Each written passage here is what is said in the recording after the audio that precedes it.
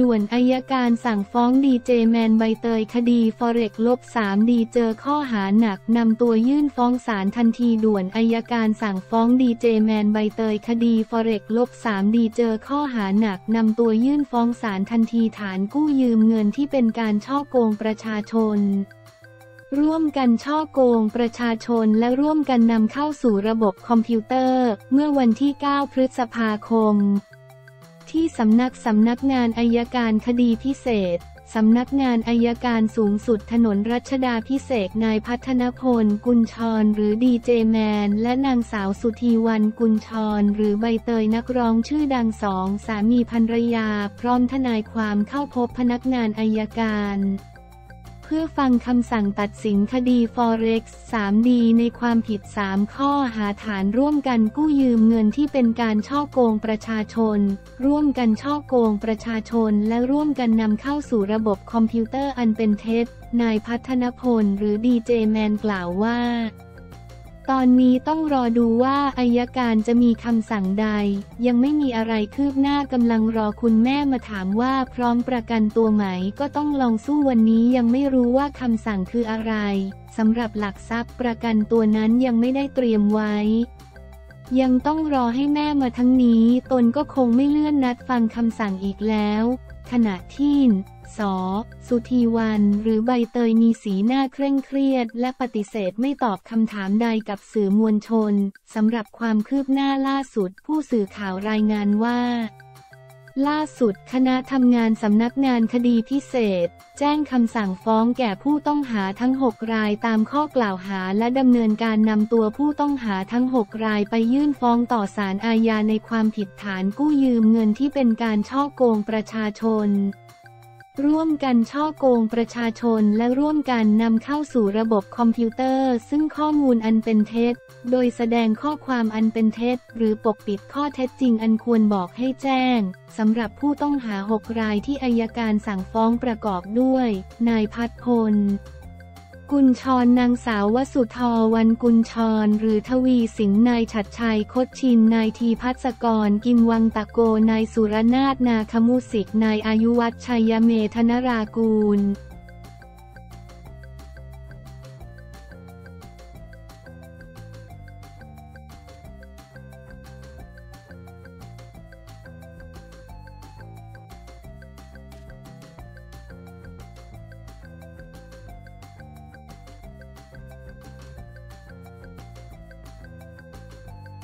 ปิดตำนานแล้วพี่ปิดตำนานเมืองทิพย์ที่ทิพย์แจ้งข่าวช็อกอาจติดคุกฝาก support แม่หญิงลี ด้วยลั่นไม่มีการแกงทั้งหมดคือเรื่องจริงทำเอาแฟนคลับเมืองทิพย์ถึงกับช็อกหนักไปตามตามกัน เมื่อพี่ทิพย์หรือลินดาเมย่า เจ้าของเพจ VEEN ที่ทำเพจร่วมกับ แม่หญิงลี ออกมาแจ้งข่าวสุดช็อก อาจจะติดคุก พร้อมฝาก FC คอย support แม่หญิงลีและน้องขนำด้วย โดยพี่ทิพย์เจ้าของเพจ VEEN ที่ทำเพจร่วมกับแม่หญิงลี ได้แจ้งข่าวผ่านเพจ VEEN ว่า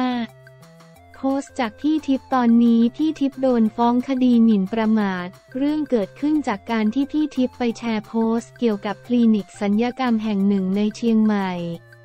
ที่มีการออกมาโพสต์แชร์ต่อกันว่า เจ้าของคลินิกไม่ได้จบหมอโดยตรง แต่ร้อยไหมเองฉีดหน้าเอง แถมมีผู้ช่วยแพทย์สวมรอยเป็นหมออีก ในหัวข้อที่พี่ทิพย์แชร์ต่อมาอีกทีคือ เกิดอะไรขึ้นคะพี่ตาพี่ทิพย์แชร์เตือนภัย ให้คนที่คิดทำสัญญกรรมระวังมากขึ้น เนื่องด้วยตัวพี่ทิพย์เองก็ทำสัญญกรรมมาหลายคลินิก ตอนนี้สิ่งที่แชร์ไปวันนั้นทำให้ตัวเองโดนฟ้องหนึ่งล้านบาทในวันนี้ค่ะ พรุ่งนี้อาจต้องประกันตัวใช้เงินเยอะ แต่พี่ทิพย์ไม่มีเงินประกันตัวและจ้างทนายแล้วค่ะ ยังไงอาจจะต้องติดคุกก่อนอื่นเลย ต้องขอบคุณ FC ที่คอยติดตาม คอย support คอยสนับสนุนมาโดยตลอด ถ้าไม่มี FC ก็ไม่มีเพจ VEEN ในวันนี้ ในขณะที่พี่ทิพย์ไม่ได้มาประจำการเพจวีนแล้ว ฝาก FC คอย support แม่หญิงลีและน้องขนำด้วยนะคะ หลังจากนี้พี่ทิพย์รอฟังคำตัดสินของศาลค่ะ พร้อมกันนี้พี่ทิพย์ยืนยันอีกครั้งว่า ที่โพสต์ทั้งหมดนี้ไม่มีการแกงทั้งหมดคือเรื่องจริงท่ามกลางบรรดาแฟนคลับตกใจกันใหญ่ ขอบคุณ Facebook VEEN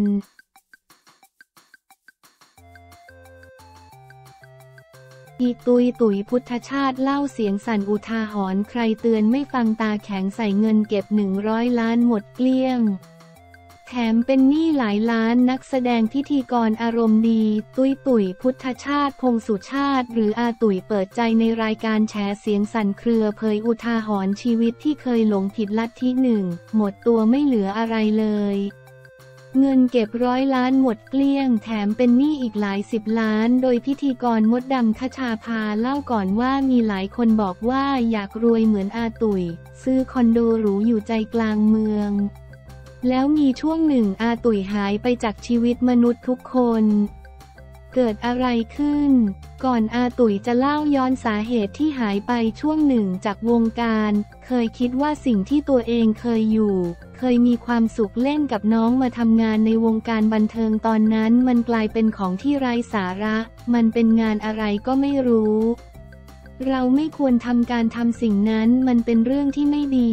ไม่ควรรับงานไม่ควรจะมายุ่งกับคนพวกนี้ตอนนั้นที่คิดแบบนั้น เพราะด้วยถูกกรอบความคิด แต่เราก็โง่เองด้วยไม่มีใครจะมากรอบความคิดเราได้ ถ้าเราไม่ได้มีวิบากกรรมเก่ากับเขา มดดำเล่าต่อครั้งหนึ่งเคยอยู่กันเหมือนครอบครัว แก๊งเดียวกันไปไหนไปด้วยกัน จนวันหนึ่งอาไก่ สมพล พูดว่าอาตุ๋ยมันเปลี่ยนไป และเพิ่งมารู้ตอนจบแล้วว่าเขาคิดว่าการมาอยู่กับพวกเรา การรับงานวงการบันเทิงรับงานพิธีกรเป็นเรื่องไร้สาระ มันเปลืองเวลาของชีวิตอะไรที่ทำให้อยู่ดีๆ วันนั้นคุณคิดแบบนั้น อาตุ๋ยตอบว่า มันเป็นเรื่องของการที่เอาตัวเองเข้าไปรับฟังเรื่องบางสิ่งบางอย่าง แล้วเห็นเป็นชอบเห็นเป็นคุณธรรมอันแสนสูงส่ง แต่จริงๆ แล้วงานอาชีพวงการบันเทิงมันสร้างความสุขให้กับคน ถ้าดูให้เป็นมันจันลงเพื่อนฝูงที่หัวเราะเอิกอากมันเยียวยาจิตใจของเราบนโลกที่เราอยู่โดดเดี่ยวเดียวดายกันอยู่แล้วเกาะกันเป็นกลุ่มก้อนเป็นความบันเทิงมันไร้สาระตรงไหน แม้กระทั่งมีแฟนก็ต้องเลิก เพราะคิดว่ามันขัดขวางการทำคุณงามความดี ต้องบอกก่อนว่าในคำสั่งสอนแต่ละสำนักคือดีหมดนะ แต่มันอยู่ที่สติปัญญาของเราด้วย ราะมันมีบางที่ที่เซตอัพตัวเอง เรียนแบบโคลนนิ่งกับสิ่งที่เป็นของจริงของแท้ แล้วเขาก็ชักจูงเราไปภายใต้ภาพเหมือนเป็นของจริงของแท้ ถ้าเราไม่มีสติปัญญาทัน เราก็จะหลงเตลิดไปเหมือนอย่างที่อาเคยเป็นอาเสียเวลาในชีวิตเยอะมากประมาณ 6-7 ปี ไม่ใช่ไม่มีคนพยายามเตือนแต่ใครเตือนปุ๊บเธอก็ผีบ้าใส่เขา ตาขวางใส่เลย ตาแข็งตาขวางอาไก่เคยพยายามจะพูดก็ไปตาแข็งใส่เขาจนอาไก่เขาเสียใจ เสียงสั่นเครือ กลายเป็นว่าทำให้เราห่างกันเลย ไม่อยากโกรธเขาแต่รู้สึกว่าความห่วงใยที่มันจะทิ่มแทงจะขวางเรา ในครอบครัวบางคนอาจจะมีคนเป็นแบบอา หรือเพื่อนฝูงก็เป็นถ้ามดดำเตือนอาก็จะรู้สึกว่ามดดำคือพวกมันพวกคนบาปจะชักจูงเราไปในทางที่ไม่ดี เราอุตส่าห์มาดีแล้วแล้วเหยียดคนอื่นโดยไม่รู้ตัวแล้วคิดว่าตัวเองดีจัดเหยียดคนอื่นด้วยแย่มากตัวเองตอนนั้นจนไม่เหลือใครในชีวิต ไม่เหลือไม่ใช่ เพราะเขาเกลียดชังเรานะ โชคดีที่เป็นแบบไหนคนก็ยังรักแต่ถ้าเตือนแล้วทำตาแข็งใส่เขา เขาเลือกที่จะถอยเขาก็บอกว่าวันหนึ่งถ้ามีสติถ้ารู้ตัวแล้วบาดเจ็บมาพี่จะกอดเอาไว้ ที่จะรับเสมอ เสียงสั่นเครือ ทั้งทั้งที่เราเคยทำตัวแบบนั้นกับทุกคน แล้วรู้สึกว่าคนไหนที่เราชวนให้ไปฟังในสิ่งที่เราได้รับ แล้วเขาไม่ไปโกรธเขามากก็ชวนมดดำแล้วคิดว่าถ้ามดดำมากับเราจะดีกว่านี้อีก เรารู้สึกโกรธที่มดดำหัวเราะเยาะเดี๋ยวจะตกนรกมันอาจจะดีก็ได้ แต่สำหรับอามันสูญเสียไปเยอะ จนวันหนึ่งไม่เหลืออะไรเลย แม้กระทั่งเงินที่ทำมาที่มีเป็นหลักร้อยล้าน แต่ไม่เหลืออะไรเลย ก็รู้สึกว่าตัวเองสูญเสียอะไรไปเยอะ ขายของมา 13 ปี เก็บเงินเก่งด้วย แต่เราไปทุ่มเหมือนเราเป็น FC อยากจะทุ่มสปอยเอาใจเอาไปซื้อข้าวซื้อของพอมานั่งคิดทบทวนตรงนี้นะ ถ้าคนอื่นซื้อเท่านี้ เราจะได้ซื้อแพงกว่ามากๆ ตังมันก็จะไปหมดตรงนั้นมันสูญสลายมาลายสิ้นไป เงินที่หามาได้จากการทำงานก็ไม่เหลือเลย แต่สิ่งที่ได้รับกลับมาคือหนี้สิน ตอนนี้ก็พยายามกลับมาทำงานในวงการบันเทิง แล้วก็ไปโฟกัสการค้าขายมากขึ้น แต่มันก็ยังไปกอบกู้มาไม่ได้มากมาย ยังมีหนี้ติดอยู่หลายสิบล้านทุกวันนี้ยังขับรถคันเก่าหกปีที่แล้วไม่เคยเปลี่ยนรถเลย มีรถใช้อยู่คันเดียว แต่งตัวเหมือนเป็นคนชอบสมถะแต่จริงๆ ไม่มีตังจะแต่ง หัวเราะ ทองที่ซื้อเก็บไว้ก็ไม่เหลือแล้ว ขายหมดเลยคือมันเป็นเรื่องของความหลงผิด ฉะนั้นคุณผู้ชมอย่าได้วู่วามนะ ว่าเงินทองที่ใส่ลงไปจะทำให้เราได้สติ ได้ปัญญาได้เป็นคนที่ดีขึ้นไม่ใช่นะคะ มันอยู่ที่การปฏิบัติตัวของเรามากกว่า ไม่ต้องติดผู้ชาย ไม่เล่นการพนัน ไม่ใช้เงินสุรุ่ยสุร่ายแต่ไปเชื่อบางสิ่งบางอย่างหมดเกลี้ยง และมีของแถมมาหลายสิบล้าน แต่ก็พยายามคิดทุกอย่างในแง่บวก ว่าอย่างน้อยเราก็ได้เป็นอสังหาริมทรัพย์ คิดแบบนี้ไปก่อนเพื่อเป็นแรงใจยืนหยัดในการทำงานจากนี้ไป คิดอะไรบวกบวก แต่สิ่งที่ประเมินค่าไม่ได้ คือความรักที่เกิดขึ้นจากคนที่รักเรา ห่วงเราเขาต้องผิดหวังแค่ไหนแม่อาอยากจะเตือนอยากจะพูดแต่พอไปแตะบรรยากาศมาคูน่าจะตึงแข็งขึ้นมาแม่อยากจะเตือนมากๆ แต่สุดท้ายแม่ไม่เตือนเพราะกลัวลูกบาป สิ่งที่เราสูญเสียคือคนที่รักเรา เขาเสียใจแฟนคลับรู้คุณผู้ชมทางบ้านรู้และติงอามาด้วย สุดท้าย อามานั่งอ่านคอมเมนต์ถ้าเขาไม่เคยรักเราเขาจะไม่ผิดหวังในตัวเราแล้วในเวลานั้นอาทำให้หลายคนผิดหวังในตัวเรา มันเสียใจมากตรงนั้นเรื่องเงินทองที่หายไปมันก็คือเงินทอง แต่ความรักที่หายไปมันเยอะมาก มิตรภาพ จนมีพระบอกว่าเชื่อเรื่องเวรกรรมไหม มันคือเวรกรรมที่ทำกับเขามา เป็นวิบากกรรมเก่าที่เราต้องชดใช้เขา บทเรียนครั้งนี้สอนอะไรเราบ้าง ถ้าเราทำมาหาได้มีสัมมาอาชีพมีกัลยาณมิตร แต่ใจยังไม่เป็นสุขเรายังดีไม่มาก พอนั่นเป็นเพราะตัวของเราไม่ได้หมายความว่าคุณจะต้องเอาเงินไปบริจาคทานจน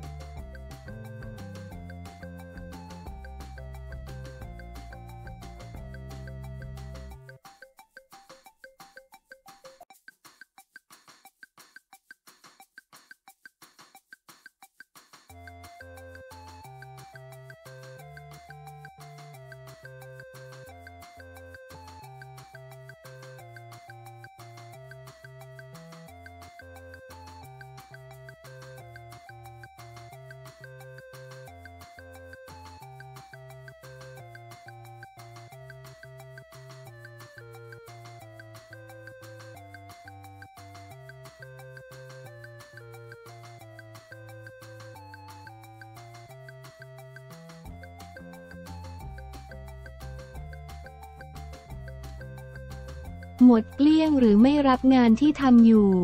ทอดทิ้งทางโลกไปอันนั้นเป็นการหลงผิด แต่เราจะเป็นคนที่ดีขึ้นได้ เราต้องเห็นความรักของคนที่ห่วงใยเราอย่างแท้จริง เรารักเขาเขารักเรากลับ